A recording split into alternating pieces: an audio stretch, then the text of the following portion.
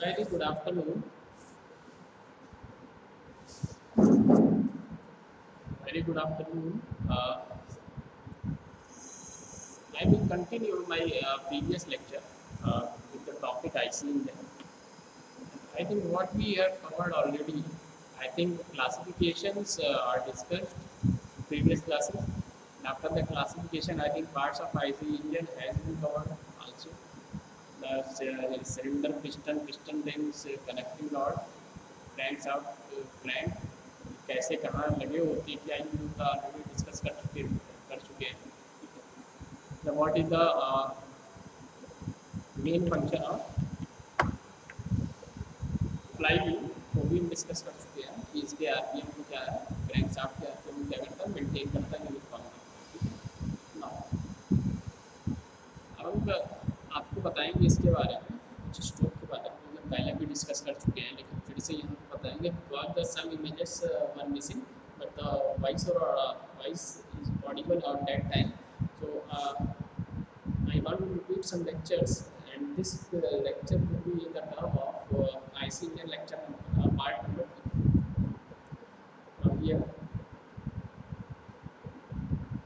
uh, think these slides uh, have been dis uh, discussed uh, is the main advantage of a flywheel? Actually, why, uh, why the flywheel is mounted uh, over here, that is on the crankshaft to maintain uniform rotation of the crankshaft crankshaft का जो RPM होता है उसको क्या करते हैं uniform करने के लिए हम क्या करते हैं?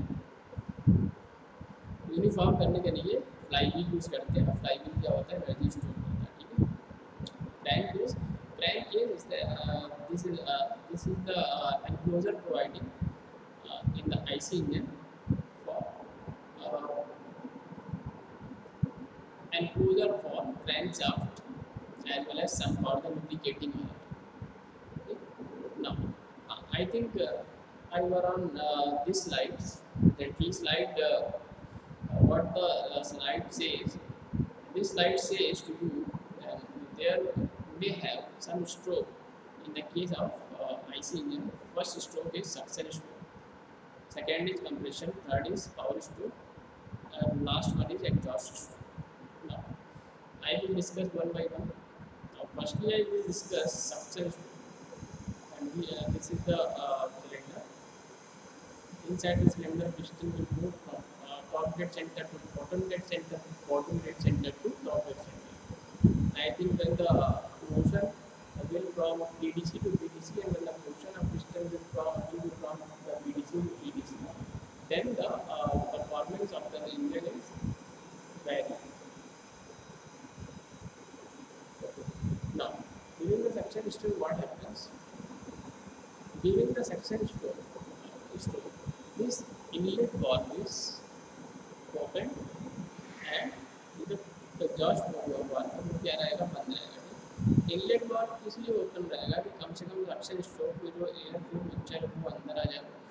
अंदर कुछ है ही नहीं तो जलाओगे क्या? भाई कंबशन किसका होगा? कौन किसकी एनर्जी तुम पर कन्वर्ट कर पाओगे? इसमें क्रैंक शाफ्ट की रोटेशन में क्रैंक शाफ्ट को रोटेट कराना है कोई ना कोई फ्यूल यूज़ करना पड़ेगा।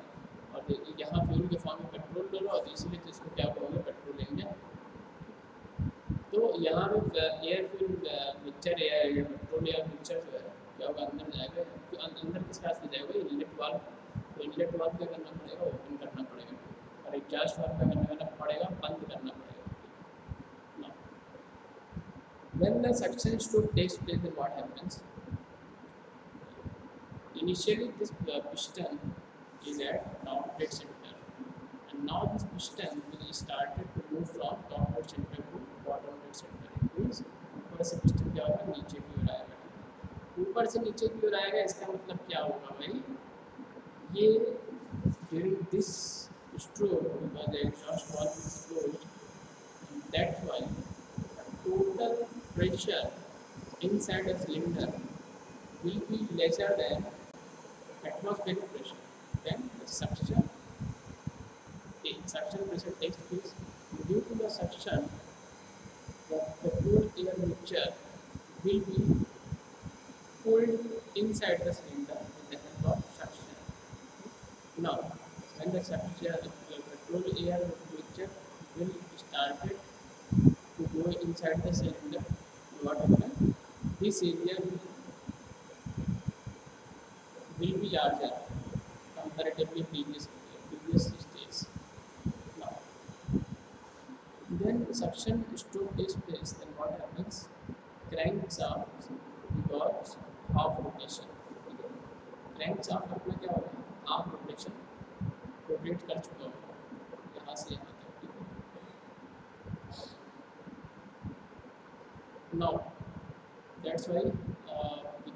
suction is to pulls air fuel mixture इसमें क्या होगा? एयर fuel mixture फिर सिलेंडर में आ जाएगा due to the pressure difference atmosphere का प्रेशर और एटमॉस्फेयर से कम के प्रेशर इसका मतलब ये है कि एटमॉस्फेयर का प्रेशर बाहर का प्रेशर है।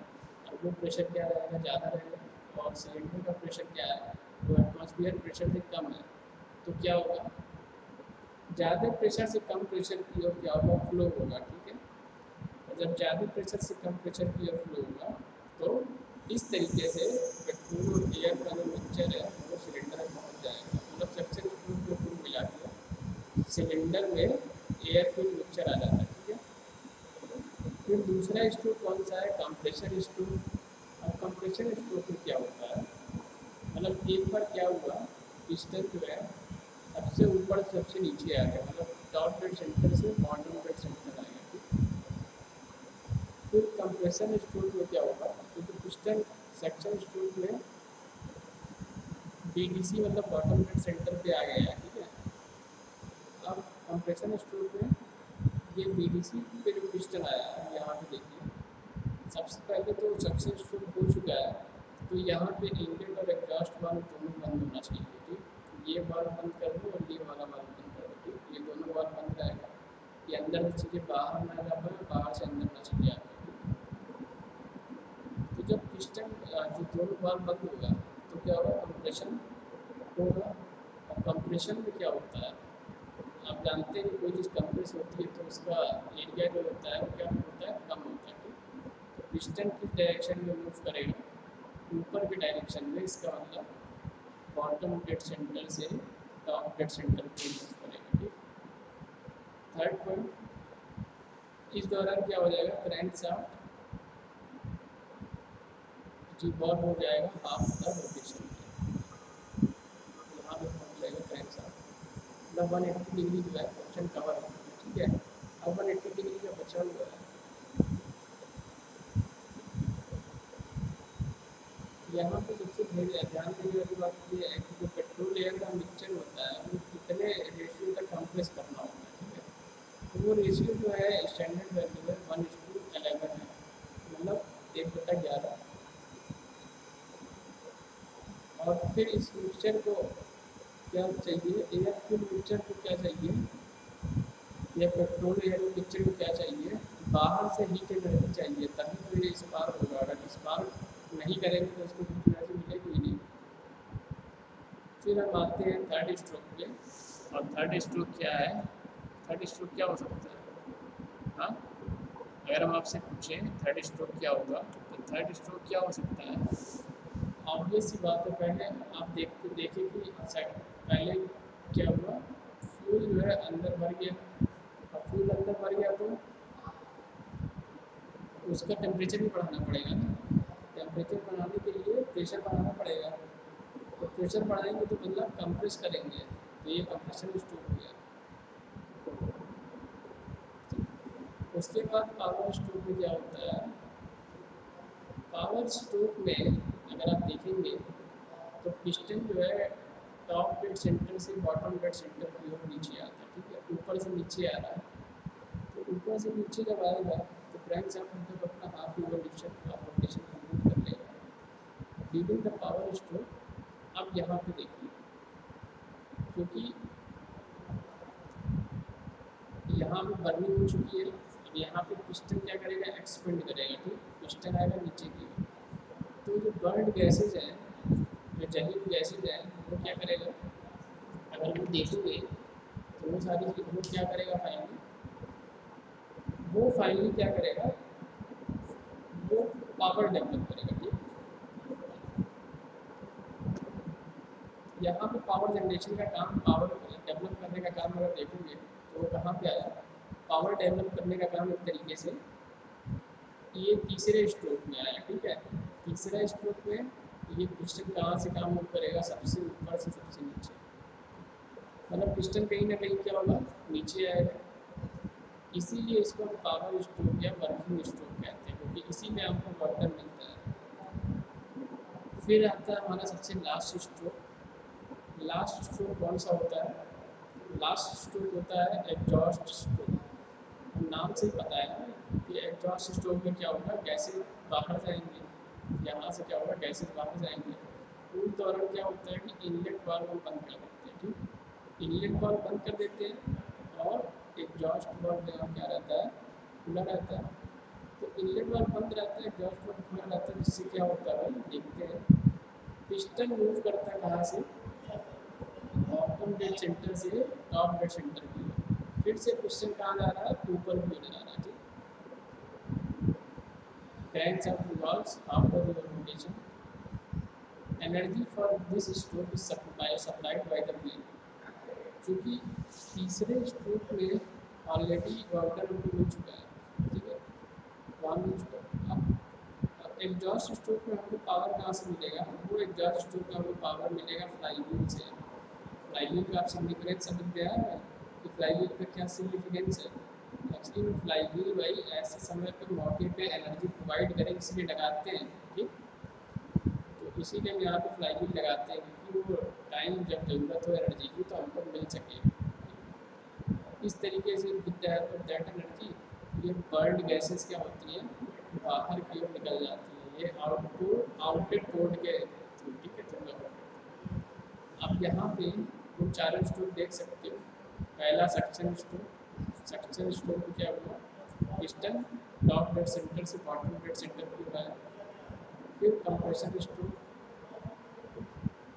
एक रिवोल्यूशन कंप्लीट हुआ यहाँ पे, ठीक है? ये यहाँ रिवोल्यूशन किया है अब रिवोल्यूशन कंप्लीट हुआ, यहाँ पे आ गया, ठीक है? तो एक रिवोल्यूशन कंप्लीट हुआ क्रैंक शाफ्ट का यहाँ पे आ गया, और कंप्रेशन स्ट्रोक अब कंप्रेशन स्ट्रोक में देखो भाई, ये दोनों वाल बंद है। अगर चाहते तो स्क्रीन शॉट ले सकते हैं यहाँ से। ये चारों डायग्राम एक साथ मिल जाएँगे पे। तो कंप्रेशन स्ट्रोक में यहाँ पर देखो पिस्टन जो है ऊपर की ओर मूव करना है, ठीक है? पिस्टन जब ऊपर की ओर मूव करेगा तो ये क्रैंक शाफ्ट जो किधर में मूव करेगा क्लॉक वाइज ही मूव करेगा और 180 डिग्री और रोटेट करेगा, ठीक हाफ़ ऑफ़ द रिवॉल्यूशन अब ये कहाँ रोटेट किया? ये यहाँ पर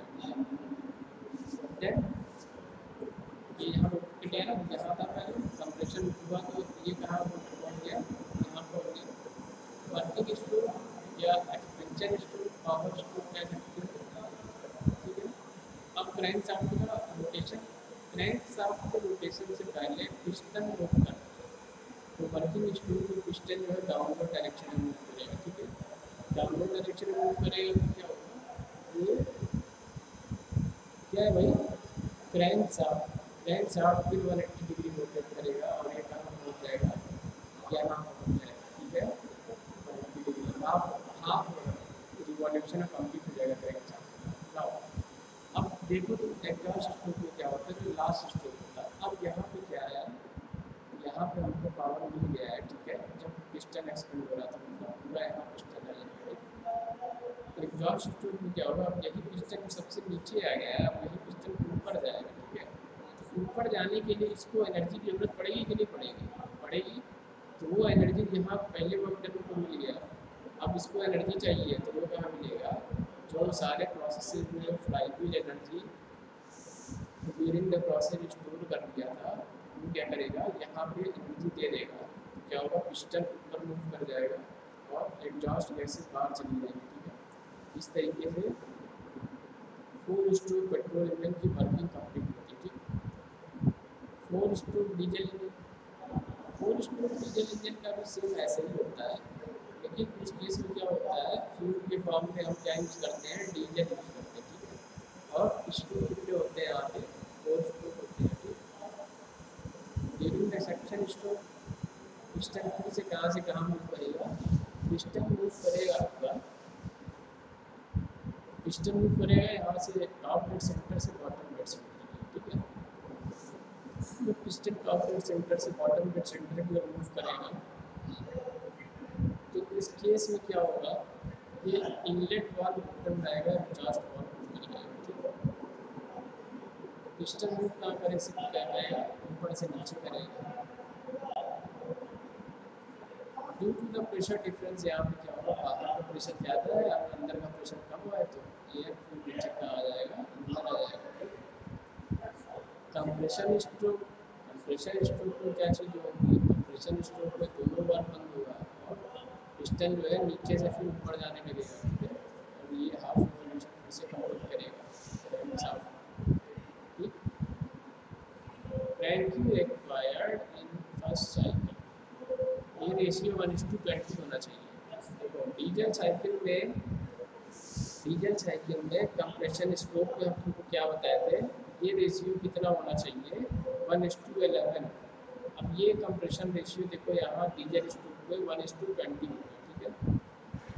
Diesel ion spread into the cylinder injector के थ्रू कर सकते हैं ऑटो इवोल्यूशन भी कर सकते हैं, ठीक है? इंजेक्टर से भी कर सकते हैं ऑटो इवोल्यूशन भी कर सकते हैं।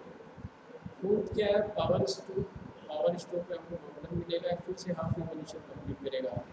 यहाँ से यहाँ पहुँचेगा। पावर स्ट्रोक में क्या होगा ये पिस्टन फिर टी डी सी से पी डी सी को नीचे आएगा तो इससे क्या होगा हमको बर्तन मिलेगा यही चीज़ है। बर्न गैस जो गैसेज बर्न होगी, वो हमको क्या देगी? पिस्टन को फोर्स देगी? एग्जॉस्ट स्ट्रोक एग्जॉस्ट स्ट्रोक में ये इनलेट वाल बंद रहेगा एग्जॉस्ट वाल फिर से खुलेगा यहाँ से एग्जॉस्ट गैसेज बाहर जाएगी पिस्टन कहाँ से काम करेगा नीचे से ऊपर की ओर मूव करेगा ठीक और इसमें जो एनर्जी स्ट्रोक के लिए हमको चाहिए वो एनर्जी कहाँ से मिलेगा वो एनर्जी फ्लाईवील से मिलेगा ठीक है ना फ्लाईवील का बहुत इंपॉर्टेंट रोल होता है फ्लाईवील नहीं है तो एग्जॉस्ट स्ट्रोक नहीं हो पाएगा और जो बर्न गैसेज है वो वही सिलेंडर में ना रहे इसलिए क्या करना पड़ेगा उनको बाहर करना पड़ेगा तो वो एग्जॉस्ट स्ट्रोक में बाहर आ जाते हैं अब हम आपको बताएँगे हम आपको बताएँगे कि मतलब यहाँ पे अगर देखिए आप, अगर इस केस में देखेंगे ये तो फोर स्ट्रोक इंजन है, ठीक है? अगर हम आपको बताएँ कि टू स्ट्रोक पेट्रोल इंजन या टू स्ट्रोक डीजल इंजन क्या होता है तो उसकी भी कुछ वर्किंग होगी ना, ठीक? तो टू स्ट्रोक पेट्रोल इंजन या टू स्ट्रोक डीजल इंजन अगर हम बात कर लें कि किस तरीके से वर्क करता है जैसे कि पहले फोर स्ट्रोक की बात की तो पहले साइकिल कंप्लीट फोर स्ट्रोक में होता था। अब पेट्रोल इंजन में साइकिल कंप्लीट होगी कैसे टू स्ट्रोक में, ठीक है, दो ही स्ट्रोक में हमको मिल जाएगा सारा कुछ। तो वर्किंग साइकिल कंप्लीट करने के लिए हमको टू स्ट्रोक की ज़रूरत पड़ेगी ठीक है। बेसिकली जो टू स्ट्रोक पेट्रोल इंजन है वो किस पे वर्क करता है? वो ऑटो साइकिल पे वर्क करता है। Work on theoretical Otto cycle diagram में देख सकते हैं दिस डायग्राम यहाँ पे क्या लगा हुआ स्पार्क प्लग लगा हुआ ये क्या लगा हुआ पिन पिंस लगे। ये क्या है? एग्जॉस्ट पोर्ट लगा है ये क्या है? ट्रांसफ़र पोर्ट लगा है ये एग्जॉस्ट गैसेस पिस्टन है। ये क्या है? कनेक्टिंग रॉड ये क्या लगा हुआ है? क्रैंक शाफ्ट इसका हमको रिवोल्यूशन चाहिए ये क्या है? क्रैंक केस है। क्रैंक केस में तुम्हारा connecting rod crank oil sump crankshaft ये सब इसी में रहते हैं, इसमें क्रैंक केस में।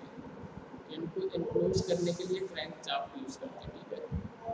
ये इनलेट पोर्ट है और ये एग्जॉस्ट पोर्ट है। तो इनलेट पोर्ट यहाँ पे लगा होता है टू स्ट्रोक पेट्रोल इंजन में, और एग्जॉस्ट पोर्ट यहाँ पे लगा होता है टू स्ट्रोक पेट्रोल इंजन में, ठीक है? यही चीज़ अगर हम बात करें स्ट्रोक में तो ऊपर लगा वाल्व था पोर्ट नहीं था तो टू में क्या होता होता है ये सारे यहाँ पे पार्ट्स हो गए। यहाँ पे पार्ट्स की अगर हम बात करें, कौन कौन से पार्ट्स हो सकते हैं? ये ये डिस्कस कर चुके हैं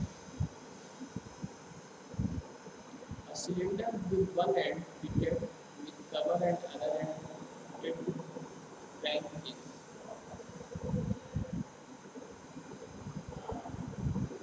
ठीक है सिलेंडर का एक एंड जो होता है वो कवर से जुड़ा होता है सीओपी या और दूसरा एंड किससे जुड़ा होता है क्रैंक केस से फोर्स सकते हैं below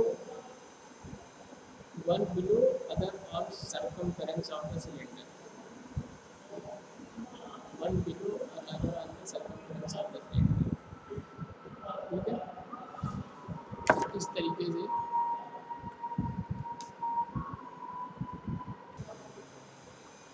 क्या बता रहे थे हम आपको? पार्ट्स के बारे में बता रहे थे। तो पार्ट्स में ये पार्ट्स होते हैं, सारी चीज़ें क्लियर होती है। है अभी हम नहीं बता रहे कि ये lower one is the admission admission code और unit code and upper code is the exhaust code यहाँ पे दिख रहा है ये कौन सा कोड है एग्जॉस्ट कोड है और ये कौन सा कोड है इंग्लैंड ठीक ये पिस्टन ऊपर जो कोड होता है, वो एग्जॉस्ट कोड होता है, नीचे जो पोर्शन होता है, वो कौन सा होता है? कौन सा कोड होता है इनलेट कोड होता है transfer code diametric diametrically opposite transfer code जो है, यहाँ पे होता है। डायमेट्रिकली क्या होती है? ट्रांसफ़र कोड का फ़ंक्शन क्या होता है? Transfer of petrol air mixture from crankcase to cylinder crankcase cylinder के लिए क्या होगा ट्रांसफ़र होता है। Help of transfer spark plug connecting rod of crank first stroke में क्या होता है ड्यूरिंग द फ़र्स्ट स्ट्रोक जब पिस्टन अपवर्ड डायरेक्शन में मूव करता है तो transport transfer force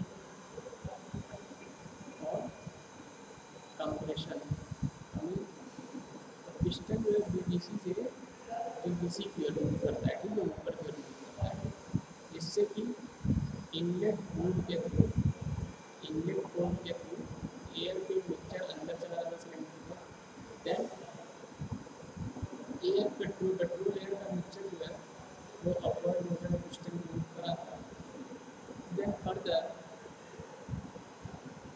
then further piston then further piston will compress the petrol air mixture इसके बाद क्या होगा पिस्टन जो है कंप्रेस करता है air fuel mixture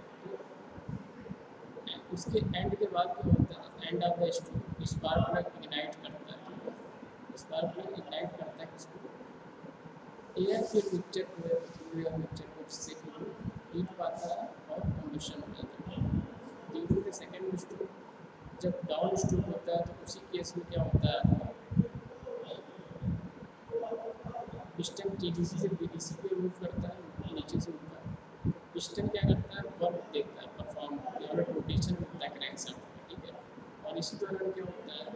transfer code भी ओपन हो जाता है। ट्रांसफ़र कोड क्या हो जाता है? ओपन हो जाता है ये यहाँ पे लगा हुआ है राइट साइड में। किस लिए? फ्रेश चार्ज सिलेंडर में आए अब यहाँ पे क्या होता है? Due to this burn gases are expelled out of the cylinder this process is called a scavenging ठीक है? जो बर्न गैसेज होती है, वो बाहर डायरेक्शन में जाती है। टू पेट्रोल इंजन में गैसेज क्या होती बाहर डायरेक्शन में जाती है तो उस प्रोसेस को हम क्या कहते हैं? इसके बंदिंग तो इसके बंदिंग प्रोसेस में क्या होता है? एग्जॉस्ट गैसेज क्या होती है? बाहर जाती है ठीक the crankshaft is shaft rotates by the half of the revolution. Uh, यहाँ पे हम थोड़ा सा डिफरेंस बता देते हैं एस आई इंजन और सी आई इंजन का। कंबशन प्रोसेस में देखते हैं एस आई इंजन में क्या होता है? तो एस आई इंजन में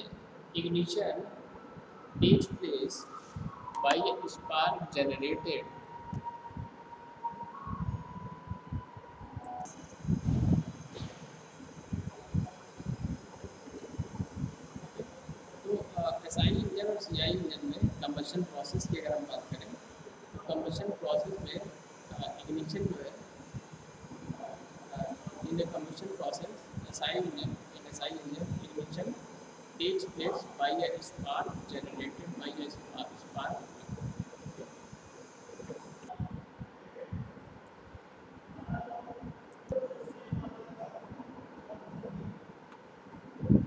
उस स्लाइड में हम आपको बताएँगे ठीक है एसाइल इंजन और C I engine that is spark ignition और कम्बशन तो स्पार्क इग्निशन और कम्बशन इग्निशन में on the behalf of commercial process they take.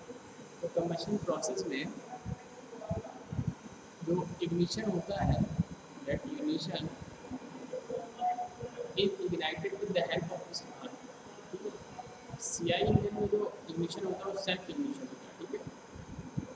Due to the high compression of air in chamber जो compression ignition यहाँ पे spark ignition में spark की help से होता है स्पार्क कंप्रेशन रेशियो ऐसा इंजन में कितना होता है तो हम बात कर रहे हैं फोर स्टोर पेट्रोल इंजन की बात कर रहे हैं ठीक है ऐसा इंजन वन टू एलेवन होता है होता है वन इस टू ट्वेंटी टू सेक्शन में क्या होता है? Mixture of petrol and air in calculated ratio is drawn into the cylinder petrol और एयर का जो होता है मिक्सचर वो सिलेंडर में सब होता है। सिलेंडर में एयर फ्लो मिक्सचर आ जाता है, ठीक है? और सी आई में क्या होता है? केवल प्योर फॉर्म ऑफ़ एयर जो है वो सिलेंडर में लिया जाता है, ठीक है? कंप्रेशन के निरीक्षण में क्या होता है? केवल प्योर फॉर्म ऑफ़ एयर लिया जाता है फ्यूल नहीं लिया जाता है? ठीक यहाँ पे फ्यूल होता है पेट्रोल होता है आई इंजन में, ठीक है? सी आई इंजन में क्या होता है? डीजल होता है। एस आई इंजन में थर्मोडाइनमिक साइकिल होती है केवल केवल ऑटो साइकिल होती ठीक है? ऑटो साइकिल होती है, इसका मतलब जो हीट सप्लाई होती है, वहाँ constant pressure sorry constant volume होती है। Diesel cycle C I engine में यूज़ होता है, इसका मतलब कांस्टेंट प्रेशर पे क्या होगा हीट सप्लाई अगर वेट ऑफ़ इंजन के बिहाफ से हम देखें डिफरेंस एस आई और सी आई इंजन का तो एस आई इंजन जो होता है, उसका वेट क्या होता है लेसर होता है, ठीक है? Due to the lower compression ratio cylinder size क्या होता है स्मॉल होता है। सी आई इंजन की साइज़ वेट क्या होता है? ज़्यादा होता है। कंप्रेशन रेशियो ज़्यादा होती है इसलिए इंजन का साइज़ क्या होता है? ज़्यादा होता है। एफिशिएंसी क्या होता है? एस आई इंजन के केस में एफिशिएंसी कम होती है, ठीक है? क्योंकि कंप्रेशन रेशियो क्या होता है? कम होता है। और यहाँ कंप्रेशन इंजेक्शन ज़्यादा होता है क्योंकि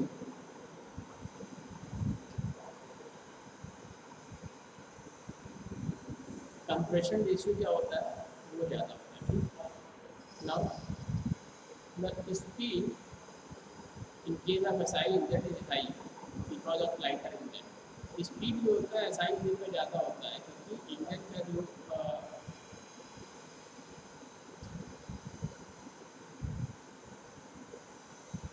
इंजन जो होता है वो हल्का होता है जिसकी वजह से स्पीड ज़्यादा होती है, ठीक है? सी आई इंजन वेटेड होता है, इसलिए स्पीड इसकी क्या होती है कंपेरेटिवली लो होती है, ठीक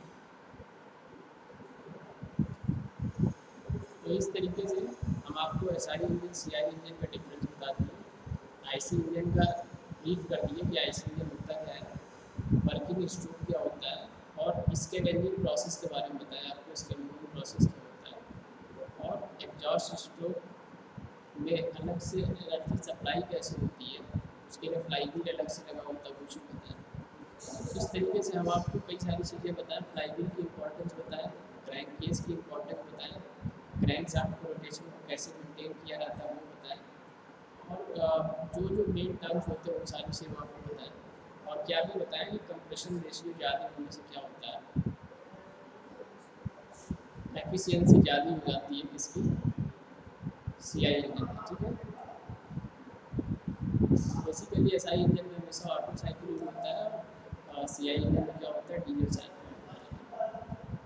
तो ये रहा है जो इंटरनल कंबशन इंजन का हमारा पार्ट टू का लेक्चर कोई तो जस्ट उसको कमेंट बॉक्स में मेंशन कर सकते हैं तो यहाँ पर कंक्लूड करते हैं ये वाला टॉपिक ये इसको एकदम तुम स्क्रीन शॉट ले लेते हैं और इसको एक तरीके से एकदम मेमोराइज करते हैं तो और thank you for joining this session. Uh, I think uh, we are going to anyone comment box to live something.